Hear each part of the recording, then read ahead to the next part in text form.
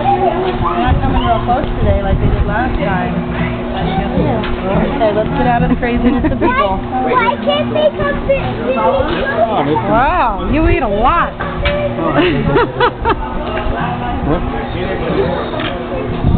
That's good.